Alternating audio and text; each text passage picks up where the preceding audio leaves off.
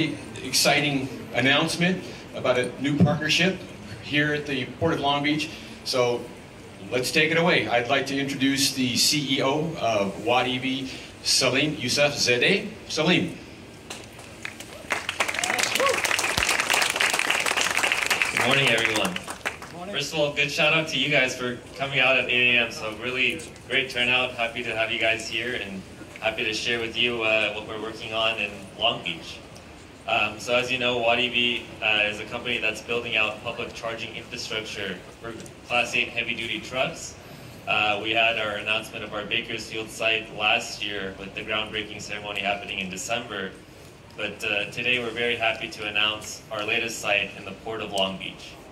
This is a 1.2 acre site located right inside the port location that will allow us to install over 30 plus chargers and 8 MCS chargers in the future, which would allow us to charge the Volvo that you have behind us, uh, as well as many of the other electric trucks that are uh, coming out in the days to come. Um, on the uh, first phase of the site, uh, this will be operational by the end of this year, with 20 plus uh, charging ports rated at 150 kilowatts, so each of those dispensers are going to be 360 kilowatt dispensers.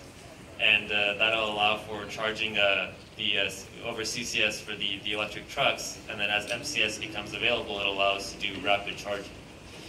Obviously, this is going to be one of many sites. Uh, I can't be happier to uh, thank Port of Long Beach, particularly Mario, for leading this effort and, and really helping this site happen as well as the folks at Southern California Edison.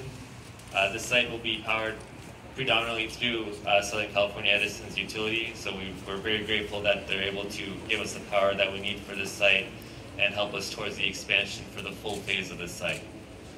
Uh, WattEV's vision is to go well beyond uh, the port locations. This is one of many on our plans to electrify the entire corridor going from Southern California to Northern California and this is going to be uh, the starting point of that location. So we're very happy to announce that, and we've got many other sites on the in the pipeline to come. So I'm looking forward to sharing those as uh, as we get more solid, uh, more solidified on those sites. Uh, with that, I want to welcome Mario Cordero, to uh, head of the port, to say a few words. Mario. Thank you, Salim. And um, many of you I recognize some faces here um, it's not too long ago that we were here on these premises talking about alternative fuel. And at that time, we were talking about LNG. And here we are now in 2022. And looking at a signage here that I saw, the future is here. It's an amazing progress of what we've been able to do, not only in terms of alternative fuel, but years past, we've talked about reducing emissions. Today, we're talking about eliminating emissions, at least as it relates to truck transportation. So it's a great honor to be here and share uh, this event with uh, WattEV. And the proposal here that's before us is the beginning of what this future is. And as you may know, the Port of Long Beach partnered with the Port of Los Angeles in 2017 to update the Clean Air Action Plan. And that plan, I believe, is the most aggressive Clean Air Action Plan in terms of, again, it's not about reducing emissions, it's about eliminating emissions. The most aggressive plan, perhaps, in the country and even in the world. We've been able to reduce particulate matter by 90 percent sulfur oxides by 97%, and NOx by 62%. And now, of course, as we move forward, we're going to continue our quest to just eliminate emissions. And what we have here today, as Salim referenced, is the beginning of the infrastructure, stealing from obviously the cliche from the field of dreams, build it and they will come. Putting in this infrastructure and the zero emission trucks will come. It's been a long road, but it's been a quest that, again, is not only a socially responsible quest as far as port authorities, but in terms of our sector of transportation goods movement, it's a goal that we've all had for quite some time. And the Port Long Beach continues to partner with our regulatory agencies, uh, South Coast, the air quality, uh, local air quality, AQMD.